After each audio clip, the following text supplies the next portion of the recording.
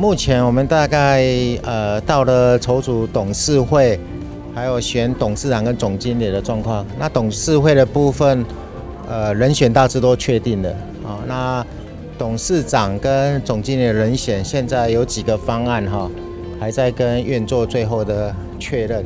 部长可以讲一下董事长的所需具备的条件，你们的思考是哪几个方向？当然就是说他一定要有铁路相关的背景啊哈。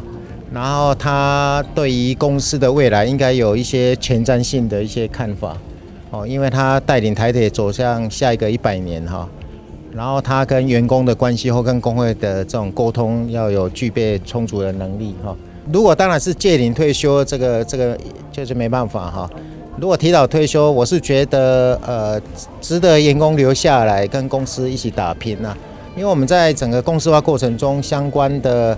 呃，法规做了很多的松绑哈，然后政府这边有很多该补贴的事项也都补贴了了哈。